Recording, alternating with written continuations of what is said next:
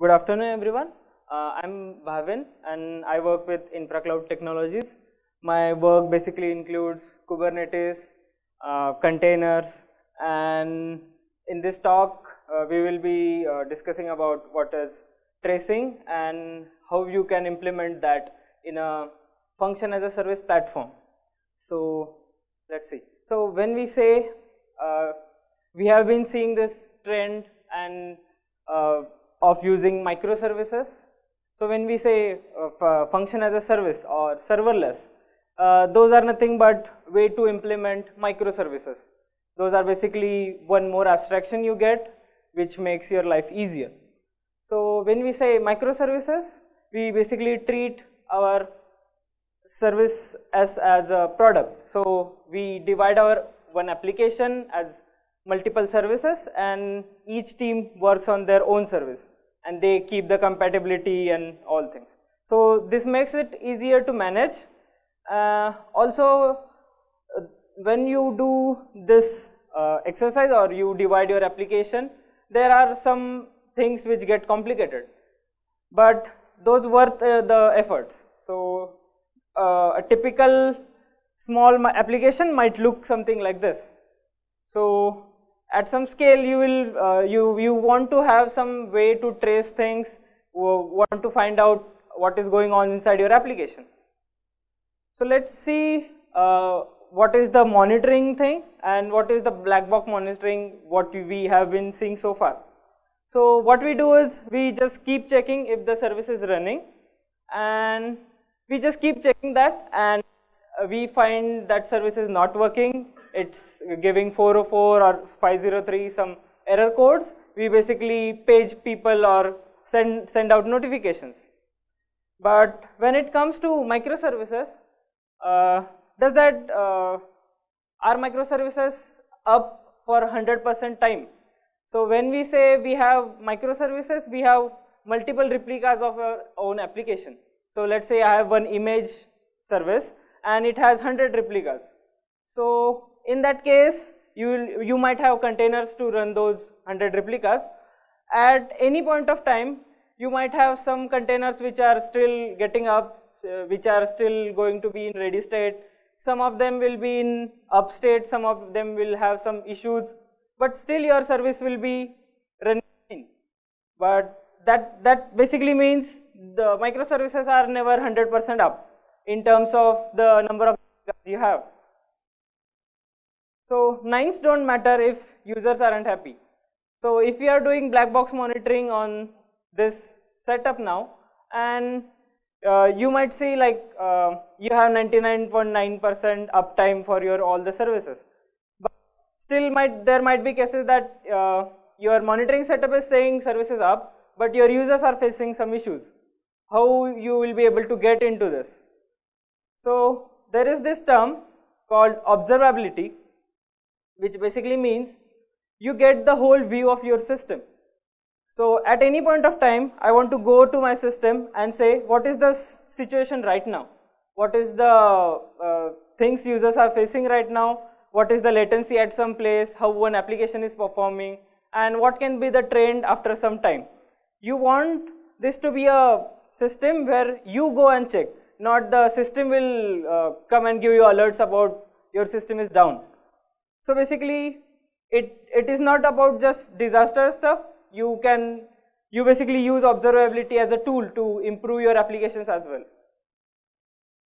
So this is a quote from Kelsey Hightower. Uh, he says, stop reverse engineering applications and start monitoring from inside. So basically you do uh, one operation called instrumentation and you modify your application code such a way that you have insights from your application. We'll see more about this later. So, the, right now these are considered as uh, three pillars of observability. Uh, one is logging, second is metrics monitoring and third one is tracing. So, there are talks people are discussing about what else we can do as a observability. So, let's start with logging. Uh, when we have our applications running, and each of the replica will be logging stuff like errors it faced, uh, all the events, all the HTTP requests and anything the application has done, it will be logged. So there is still limitation of this logging. So what happens is, uh, let's say, uh, and we know what to what things to log. So basically, uh, the developers and architects will basically decide that which things are we are going to log, and we will log those. But in most of the cases, we have more happy paths than failed ones. So this is the signal to noise ratio, which is like uh, very less. So noise is more and signal is less. For us, signals is exceptions we got, errors we received. Those are which we want to look for. And these are the stuff which serves when you have, uh, we, we already know in advance what, what can go wrong. So at some scale, uh, logs don't scale that much. So let's say you have uh, 100 replicas today, tomorrow you will have 500 replicas of same application and considering that signal to noise ratio, what will happen is you will start getting a lot of logs and in typical setups what you have all the logs from your containers are sent to some centralized system like Elastic or something. This pipeline will get bottleneck. Uh, the uh, network used for sending this log will increase. Yeah, so next one is metrics monitoring. So now we have logs, we know what events are happening. Now I want to get the insight of over time what is happening inside my application. So this can be number of HTTP requests served by my application, the CPU usage of my application, memory usage of my application. So how this statistics will help you? This will help you to uh, find the trend when and how the application trend is changing and you can predict the behavior based on this. And the next one is tracing. So what the tracing means? Tracing basically means let's consider this scenario you are trying to book a cab on one application you search for a drive uh, search for a location and from that point to the uh, booking the cab itself you want to know what all services were called and how was that path altogether so the request might go through hundred hundreds of microservices 30 or 100 so you want to know what happened in each service and you want to get a very high level view just by looking at that one particular page. So if you if you say we will do it based on logs, so that solution won't scale that much. Next thing is uh, that's the only thing you can do. One is based on logs and another is instrumentation like we say start monitoring from inside. So this helps you to connect the individual components in your request and you also uh, in one particular trace, we call it as a trace, one path, you can log small details like few log lines or metrics as well. So why tracing in uh, serverless or functions as a service? So when we say we have serverless or function as a service platform, it is more abstracted than what you get with um, other tools and also the short-lived nature of functions. These functions are ephemeral. You will, you will at probably at some time you will have uh, more number of uh, invocations of same function. So it helps you to get insight into this very small ephemeral functions and it will help you to debug things and get insight into your um, call path or whole path. So let's see uh, introducing this greetings as a service application. We will take this as a demo and we'll see how the tracing will help us to go forward. So this is nothing but basically we have two functions. One is greeter function and another is image function. And these both are um, communicating using Kafka queues. So this message queue is there and user puts their uh, input in one queue it's get processed by one function, it puts the output in another queue. So basically something like this. So you have input queue, it will go to greeter function, it will process that data and it will put again into next queue and image will pick up and the output will be taken from the output queue. So you can consider uh, it as a some uh, small part of your whole application and we'll see what are all the components when we are trying to implement all this on a Kubernetes cluster itself. So now we are introducing some new tools here. So one is Fission and the next one is our tracing backend which is Jaeger. And you can see we have greeter and image function. So when there is one input message in the input queue, the fission will get triggered and it will give that message to your greeter function. It will pass the uh, output to fission again and it will be put to the next queue. The next queue will trigger another function and similarly the output will be put in the output queue. This all happens via fission and invoking the functions will be taken care by fission itself. So, uh, in the bottom you can see we have something called tracing events and those are being sent to our tracing backend which is Jaeger. So, what happens is we have instrumented our application code. Now, our application knows what to do when it receives one request. It will create some events, we call them tracing events and those will be sent to Jaeger backend. So, let us see what fission is and then we will get to Jaeger as well. So, fission is basically built on top of Kubernetes. It uses custom resource definitions uh, which is a feature of Kubernetes and you can you, you will have everything on Kubernetes cluster itself. So, uh, we uh, moving forward we will be discussing about these specific tools, but the things we will be going to learn can be applied to any serverless plus tracing backend pair. So, we can see Kubernetes native is it is and let us see what are all the components which we will be dealing with today. So, the first one is fission functions. These are nothing but our function code which can be in any language and it will have one entry point. It can have one function which can be one entry point and basically your code will execute from there. Next one is fission function environment. So when you say you have your code, you will need something to run your code into. So these are nothing but container images and these are basically HTTP servers.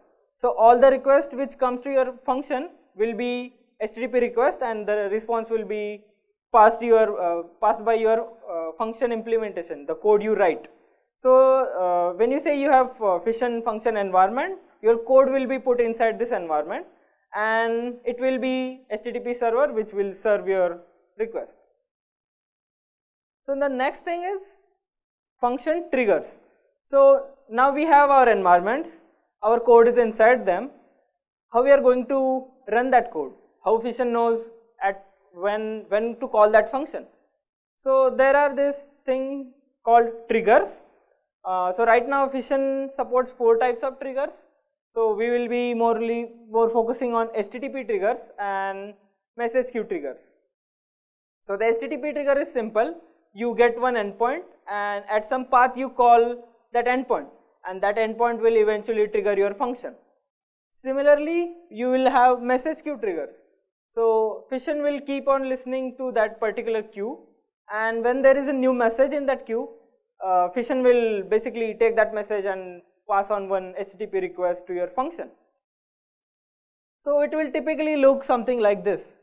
So you have one pod which is Kubernetes pod where we have our Python environment and we also have our code which is mounted inside that pod. So we have our code, we have our uh, environment ready. Whenever there is HTTP request, that code will be mounted inside that pod and the pod will get that request. So this basically happens for first request and for sequential any request after that will will basically serve from that same pod. So it is like something which gets invoked at first time and for some period of time it will be serving your requests. So now let's get back to our tracing stuff. Now these are kind of detectives for us. There is uh, the two Jaeger and Zipkin are the tracing backends and uh, in center we have open tracing and open telemetry. These are kind of APIs which have defined standards to communicate in between your instrumented code and the tracing backends. So the question, why we need tracing backends? Um, the major role is to collect the all traces. We call them spans. So these tracing events are called spans and at some place you want to aggregate them. Why it is needed? In order to get complete path, in order to link all the spans, you must have something which will do this all stuff, right? Also, there might be cases uh, where your applications are using different type of ways to send this tracing events. So there must be something which serializes those tracing events, stores them in storage and gives you one interface where you can view them. So how to collect these tracing events? Basically instrumenting your code. So there are client libraries which follow some standard. In our case, it is open tracing and those libraries will take care of collecting the uh, events at uh, your application side and sending them to tracing backend. So when you configure them, you say where is the tracing backend and how to send that those events. So let's see how we can implement all this in our application where we have two functions. So one way is to instrument each function code. So you go to each function code, import the client libraries and you do the stuff.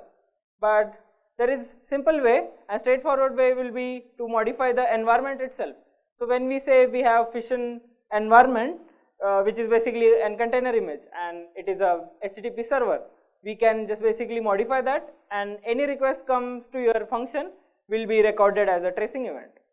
So let's see how typical environment looks and we will be considering the Python environment in this case which is Flask uh, which is a web framework to implement HTTP server which has uh, server.py and we have some files. So inside the lib directory you can see we have our tracing code and we have server.py. So let's see one of the component from server.py. So whenever there is a new request to your function, that environment will be triggered with this endpoint. So let's say you have greeter function and there is new request for that greeter function. One HTTP request will be done to this endpoint and this will basically import your code and save it in the user func variable. So this is basically importing your code for first time. At this place what we are doing we are just wrapping our initial uh, user func which is imported inside initialize tracing function. So this is like kind of wrapping over your function code. So let's dive into initialize tracing itself and we'll see what all things we are doing. So in Python you have something called decorators which is nothing but a way to wrap your function code inside another code. What we are doing here is um, basically we are uh, using our function which is func we just pass our function which is imported from the file. Our function will be saved our function will be called as a part of the wrapper and the response will be returned. So the tracing part will be done before the call and after the call of our user's function. So let's dive into this and let's see what is the first step. So the first step is we create a tracer object. So this tracer object will help us to create the tracing events, we call them spans and from there we save this tracer in one variable and the next step is to start the event. So our tracing event is basically we are calling tracer dot start span. As you can see it is inside a with block and whenever that with block ends that span will be closed. So there are two events the start of your request function call and end of your function call. This will be recorded as one span. We'll see what the span looks like and once we start the span, we start it as a, we specify one name which is span name, we give it one name. In our case, it, it will be just function name, can be greeter or image. So, let us see how you can visualize this. Uh, let us run our uh, uh, greetings as a service tool application and we will see how Jaeger can visualize it.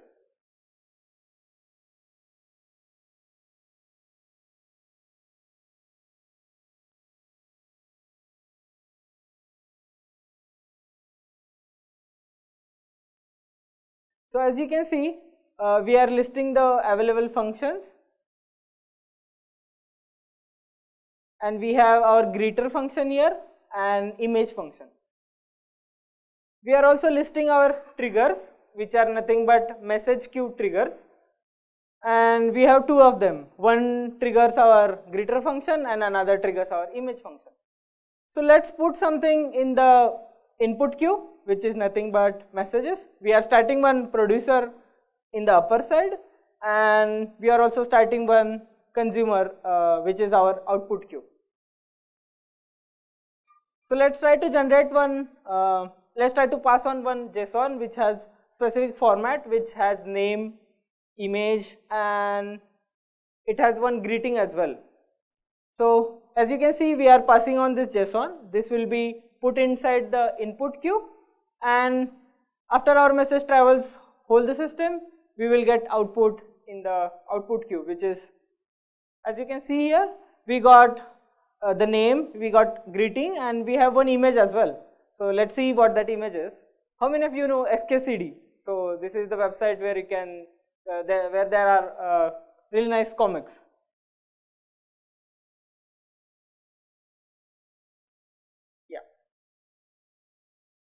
So let's see how this uh, execution looks in the tracing backend. So right now we have Jaeger's, this is Jaeger's UI. As you can see we selected greeter function and when we do find traces we get one span for our greeter function. So this has some tags like who generated that and what were the IP address and version and all. Let's check the image as image function as well. So it shows how much time it took and similarly we have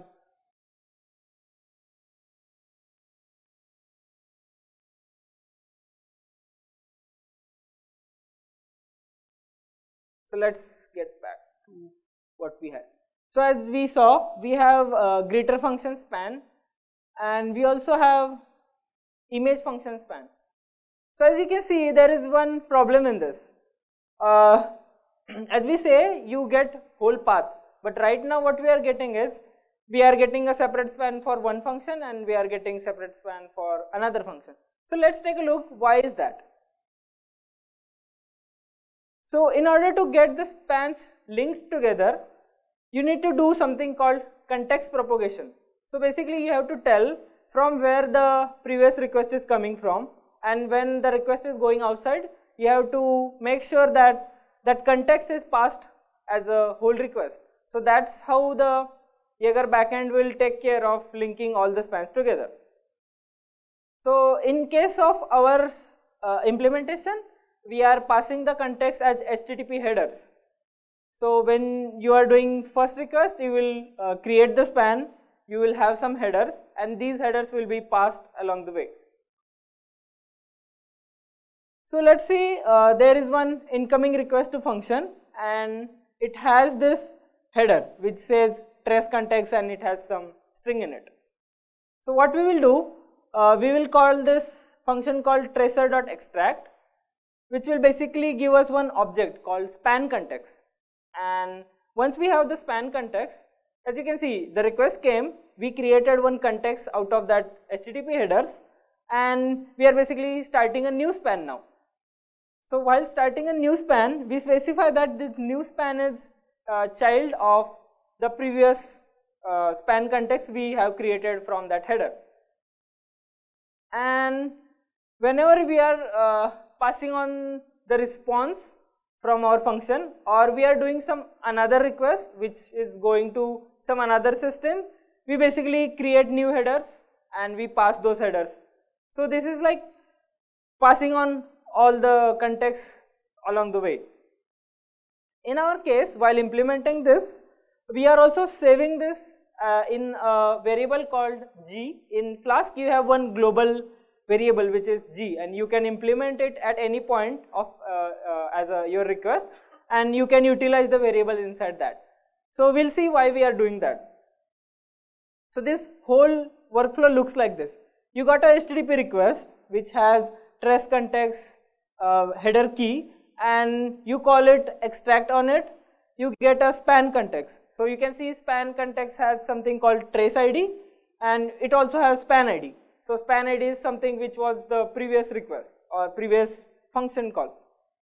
And now you start a span which basically says the parent is the previous uh, span ID, the trace ID remains the same and you also span ID of your new span. And whenever the um, your response or uh, another request is going out of your uh, code block, you will do the inject and you will create the new header which basically has same trace ID but a new span ID. So there is this standard in uh, this is specified how to uh, specify this all things and each of the client library or each of the backend tool might implement it in a way but still the standards will remain same. So let's see how that translates this whole thing translates to actual code. So as you can see, we, we create the span context from the HTTP headers we received. Now when starting the span, we say it is child of the previous span context. We also create something called generated headers and we save this generated headers as well as the current span which is we have created here and we call our users function code. So basically uh, we are calling this inject and we are prepared to, uh, we have prepared this uh, out of the box. So your user don't have to play with, uh, play with this around. So they just have to pass the, use the generated headers and pass on those headers as a request or response. So uh, now the issue we had. So when you are using the uh, Fission's message queue trigger, what it basically does, uh, it, it creates one HTTP request when there is a new message inside input queue and it doesn't have uh, support for Kafka record headers. Kafka also supports uh, record headers uh, and you can pass on extra headers as part of your uh, Kafka message. So the whole workflow looks something like this. There is Fission's message queue trigger which is running. It will, whenever there is new message in the input queue, it will take that, it will convert it to a HTTP request, your function will process it, it will create the HTTP response and this response will be translated again to Kafka format. So while this translation is happening, there is loss of our headers. So even if our function is generating headers and putting them in the HTTP response, the message queue trigger is not passing it along the way. So this, this was the change I made in the Kafka message queue trigger of Fission itself. Now Fission supports that. So whenever there is HTTP header as a part of response, it will be converted to Kafka record header. And similarly, if there is Kafka record header as a part of message, it will be converted to HTTP headers. So let's see how that looks now. Now we have upgraded our Fission installation. As you can see uh, we are running the upgrade process here. And we will run uh, we will send another message now. Let's put rootconf Pune and see what we get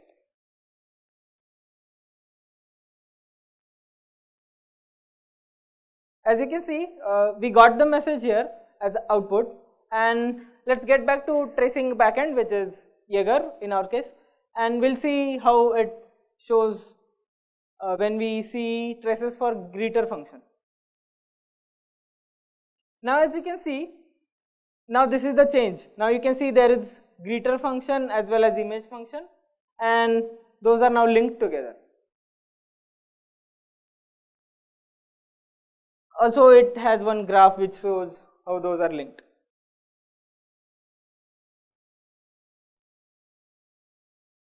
you can see those are linked together now. So now uh, there is another issue when we are using child of. So we, uh, we said that the new span is child of the previous span. So in this case, uh, the tracing backend applies something called clock skew adjustment. So let's see as a diagram. When you say you, you have parent-child relationship, it is expected that the child should finish before the parent span itself. So in this case, you can see we have parent span, then we have child span A, also our parent is calling child span B. So these both should finish before the parent span. So this is how the Gantt chart is represented. But in case of uh, something which we have, which is asynchronous thing, we have message queue in between. So we don't wait for uh, the next function or uh, we don't wait for someone to finish their call and get back to us. We just process, do our work, we fire and forget. We put our output in some place and that will be picked by someone else. So in that case, it will look something like this. And the tracing backend thinks that this is because of some network latency or it tries to um, apply some uh, average and calculations and it basically tries to bring that child span inside the parent span. But uh, it, it basically for us it results in uh, wrong timestamps on the UI. So in order to achieve this there is a different reference type which is follows from where we don't say this it is a child of previous one it is just follows from that. So in that case clock skew adjustments won't be applied. The next issue the Jaeger's uh, client Python wasn't supporting references altogether. So you can just do child of reference and this was the change uh, I did in the uh, client Python itself. So now you can pass on multiple references or single references and you can specify follows from as well. So with the change we'll see how our server dot uh, tracing.py which is a tracing code instrumented code looks like. So we still have the span context we are still uh, finding it from the HTTP headers we have. Now what we are we are creating a span reference. Uh, yeah, so the span reference is of type follows from. We pass the span context to it, and while starting a new span, we say this references to the span reference. So this basically says it is not a child of, it is basically a reference. With this change, you get proper timings, and you can see here. Uh, I'm not sure if this is visible. Uh, there is another way to represent graph in the Jaeger UI where you can see self time. So it will show that greater function is taking less time compared to image function which is darker red color. So uh, there is thing called uh, there is call which is tracer.close. So when we say our application code is sending the tracing events to tracing backend, this thing is happening asynchronously. So your application will keep doing its work and in the backend the client libraries will keep on sending the data to tracing backends. But the issue is the tracer.close is uh, not fully synchronous. What I mean by that? So let's say uh, you uh, your um, application has some spans to be sent in the queue, it has buffered them and uh, you call tracer.close. It will basically close that object, it will delete that and the spans which were in the queue which were not sent to the tracing backend yet will be lost. So only workaround with this issue is you just create the tracer and you never close it. So they, they that issue is still open if someone is interested they can do it. But the thing is what happens is when you start your application it will create the tracer object. And even in the uh, our uh, fission functions as soon as the function is receiving requests it won't be deleted. So your tracer will be there and it will keep sending on the messages. And there is something called uh, there is one timeout. If there are no requests to one function for 5 minutes it will then and then only delete that pod delete that code so in those 5 minutes we are sure that our tracing events will be sent to the tracing backend. So let's quickly see only one small video where we can uh, see how we can debug one, one issue in, in this demo. So, So we do one uh, update to our uh, tool and which has something broken. So as you can see, we have uh, we are running the up upgrade and we send one message which is rootconf Pune audience, but we sadly we didn't receive any response. So we must debug this. So when we go to UI, we can basically say that there are some specific standard tags you can specify. Uh, we, we will select one service. In our case, we will we are selecting greeter, and we are saying error equal to true.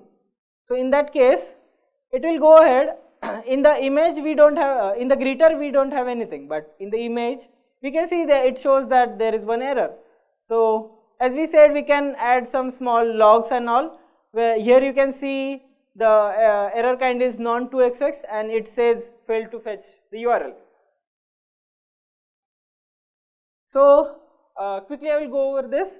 Uh, make sure you are using 128 bit trace IDs cause 64 trace 64 bit trace IDs you might run out of those because uh, there is no guarantee that every time you will get unique trace IDs. Uh, also make sure if you are uh, dealing with asynchronous applications make sure you are using follows from and if you are using something like uh, serverless or uh, something from AWS where you are not sure uh, about the connectivity between your tracing backend and your functions, make sure you, you use TCP or HTTP to send those tracing events. Yeah, any questions?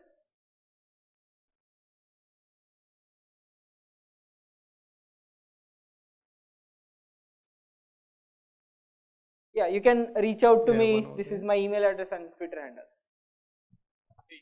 hello yeah so uh, actually i was uh, uh, actually a little bit curious about the fact that if i introduce this tracing within my microservices now uh, by i mean as it is expected out of microservices they are supposed to finish within a very short time frame right?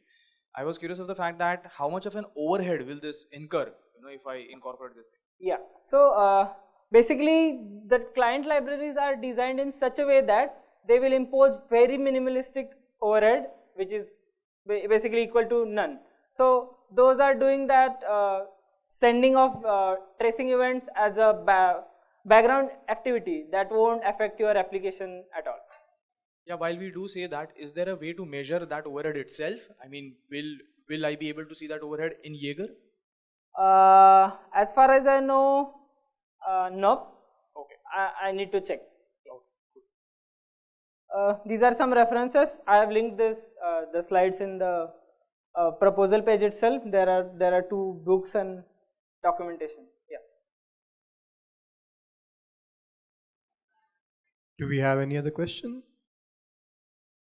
There's one over there. So basically you mentioned that these events get queued, right? So they are asynchronous. That's why you are saying that uh, we won't wait and uh, it, it wouldn't cost much. Right. But eventually when the event processing happens, uh, microservices are uh, built based on the CPU cycles they take, right? So that overhead would still be there, right? Yeah, overhead will be there, but it won't be that much. So that's the whole, uh, um, uh, you can say aim or goal of the client libraries are built in taking that in mind that we want very minimum impact on, on our application. Okay, sure.